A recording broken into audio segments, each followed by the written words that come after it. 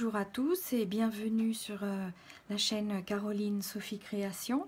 Alors dans cette vidéo, euh, je vais vous expliquer euh, comment on fait la maille en verre. Donc c'est une vidéo pour débutantes et aussi des deux méthodes, donc méthode traditionnelle et méthode continentale et suisse. Donc j'ai préparé déjà un rang en maille en droit, un rang en point mousse et maintenant nous attaquons la maille en verre. Donc de façon donc euh, traditionnelle, le fil se trouve vers la droite. Donc vous prenez votre première maille comme ceci, vous ne la tricotez pas. Et vous la gardez donc devant vous. Le fil, euh, le fil euh, doit être devant vous. Vous prenez la maille comme ceci. Vous enroulez votre fil autour de l'aiguille. Voilà. Vous tirez et vous avez votre maille en vert. Donc je recommence. Voilà. Vous prenez la maille comme ceci, votre fil se trouve toujours devant vous. Vous prenez, vous enroulez, vous poussez avec votre pouce, vous tirez et vous avez vos mailles en vert. Donc ça, c'est la méthode dite à l'italienne ou à la française. Euh, c'est-à-dire votre, votre fil est toujours de toute façon sur, euh, sur la main droite. Voilà. Donc ça, c'est la méthode euh, très occidentale, on va dire ça comme ça. Mais il existe bien sûr euh, d'autres euh, méthodes pour tenir ne serait-ce que les aiguilles, pour tenir le fil, etc. Donc là, on va voir la méthode continentale.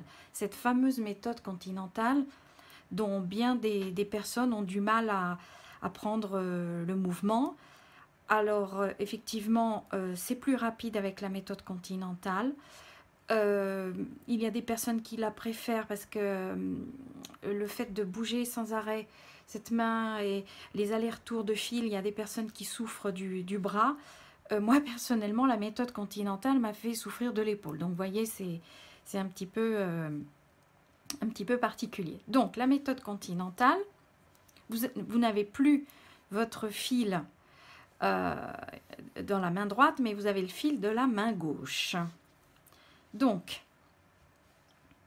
moi, je tiens le fil comme ceci de la main gauche et voyez je tourne comme ça avec mon index. Donc je répète comme ceci comme ceci.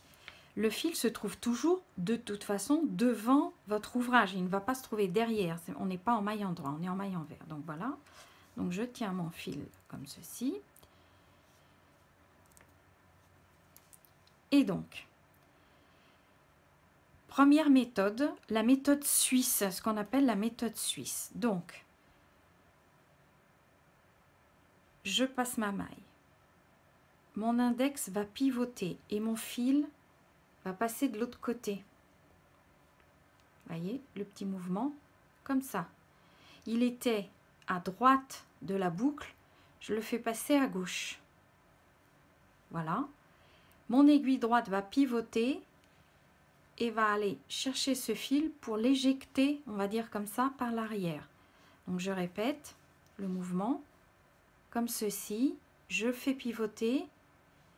Le fil était à droite, je le mets à gauche. Et voilà. Alors ça, c'est la méthode suisse, ce qu'on appelle la méthode suisse. Et je vais vous expliquer donc pourquoi. Par rapport à la méthode continentale qui est différente. Cette méthode, alors c'est vrai que c'est quand même très très rapide de faire des mailles en verre comme ceci. Cette méthode va faire que quand vous allez retourner votre, travail, vous allez vous rendre compte que les mailles, ça va être, euh, pour les mailles en droit, ça va être un peu difficile de les prendre comme ceci. Parce qu'elles sont, elles sont devenues des mailles torses, ce qu'on appelle des mailles torses c'est-à-dire qu'elles sont tournées de l'autre côté. Donc, quand vous ferez vos mailles en droit, vous devrez les prendre par l'arrière et ne pas les prendre par devant. Ça sera un peu difficile de les prendre par devant. Vous devrez, voyez, vous devez tirer comme ça. Donc vous devez prendre les mailles par l'arrière. Parce que les mailles sont torses. Alors les mailles torses, il y a beaucoup de personnes qui tricotent en maille torse parce que le tricot a plus de tenue, effectivement, en maille torse. Donc c'est un autre mouvement aussi, un autre système à, prendre. Voilà.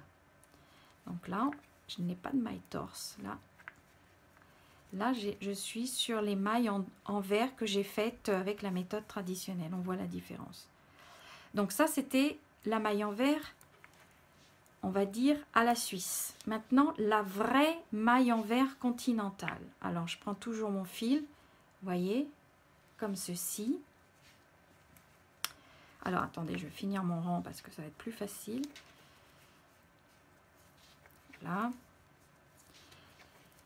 Alors, la méthode suisse est plus facile que la méthode euh, pure, on va dire, euh, continentale. Parce qu'il y aura un double passage de, de fil. Bon, donc voilà. Donc, nous repartons. Donc, la maille, je ne la tricote pas. Mon fil est toujours devant. Et là, je le prends de la main gauche. Donc, je répète la Suisse, nous sommes comme ça, je fais pivoter et je sors. La continentale, je ne vais pas faire pivoter le fil comme ça, mais je vais plutôt jouer avec mon aiguille de droite qui va monter et qui va enrouler par-dessus voyez, mon fil est là. Je le monte, je l'enroule et avec mon pouce, je le fais passer derrière. Donc là, je répète le mouvement. C'est sûr que c'est plus compliqué, hein, la méthode continentale pure. Donc, voici, ici. Mon aiguille de droite, vous voyez, il y a un mouvement. Va chercher. Alors, je lève un peu mon index pour faciliter la prise du fil. Voilà. Je l'enroule. Je le fais passer. Je m'aide avec mon pouce gauche et je fais passer le fil par derrière. Donc c'est vrai que c'est plus compliqué. Voilà. Comme ceci. voyez? L'index repart vers le bas et le pouce gauche aide l'aiguille droite à s'en sortir.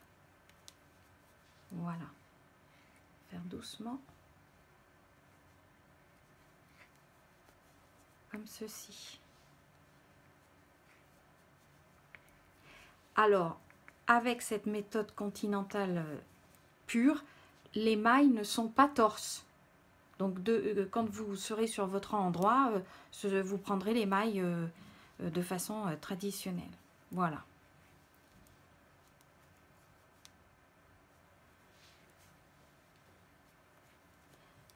Alors, euh, aux États-Unis, en Turquie, euh, en Russie, euh, les, Sud-Américaines aussi utilisent beaucoup la technique continentale. Beaucoup. Euh, les italiennes, euh, les françaises, euh, etc. Certaines espagnoles aussi utilisent la méthode continentale, mais les espagnols aussi en méthode classique. Donc, vous voyez, ça dépend un petit peu de la région. moi, je vous conseille de vous entraîner.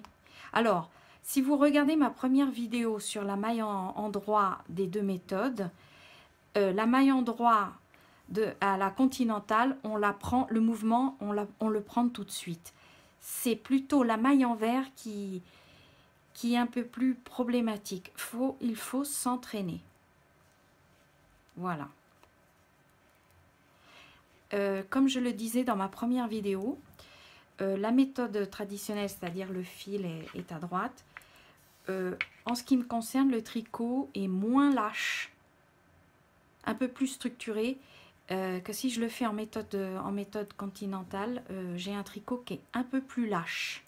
voyez, pour la maille en droit, donc, je, me réfère à ma première vidéo. Hein. Donc, ça, c'est la maille en droit à la continentale. Voilà. Et maintenant, maille envers, méthode suisse, maille envers, méthode suisse, et maille envers, méthode continentale pure. Voilà. Voilà, donc j'espère que cette vidéo vous a été utile. Euh, si vous voulez euh, augmenter un peu euh, vos connaissances en tricot, les deux méthodes se valent. Pour ma part, j'ai dû un peu abandonner la méthode continentale pour des raisons de douleur à l'épaule gauche. À l'épaule gauche. Donc voilà, mais essayez, franchement, vous apprécierez de toute façon. Voilà, donc on se retrouve pour une prochaine vidéo. merci, bonne journée et à bientôt.